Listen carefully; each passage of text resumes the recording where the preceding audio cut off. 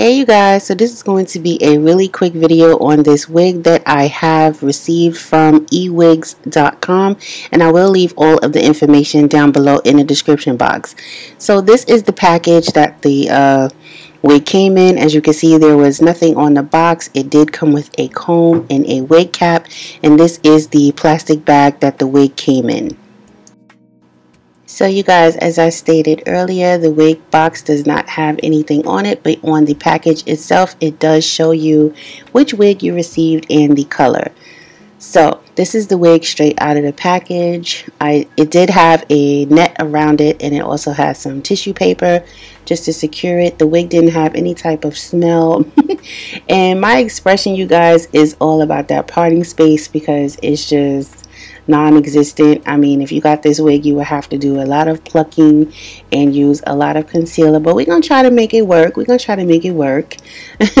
so this is the wig. I'm just trying it on for the first time with you guys. You can see that I am not pleased with this unit at all. This unit is very, very silky.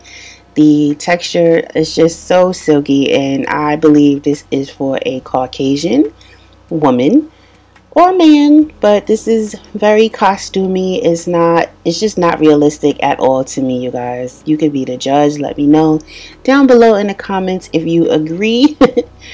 But yeah I mean other than that the wig itself is really nice. It's just the construction of the wig is not good. As you can see the hairline is very wiggy. There are no baby hairs or anything like that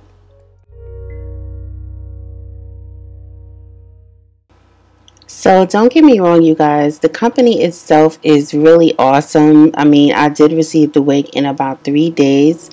I did review a wig from them before. Uh, check down below in the description box and I'll leave a link to that wig that I ordered. So this wig I had nothing to do with. They just sent it out to me. I didn't pick it out.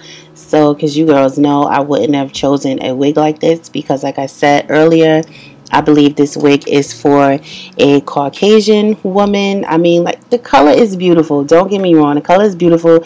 It does hold a really nice curl. But for what I'm used to, which is some type of baby hairs or some type of realistic parting, this wig is just not for me. But I will leave the link down below in the description box to you guys in case you want to check it out like I said earlier, it will take a lot of work. And yeah, let me know what you guys think down below in the comment section. I'm really curious to know what you guys think. And on that note, don't forget to hit thumbs up. Uh, subscribe if you're not subscribed. And I'll talk to you all later. Bye. Thanks for watching.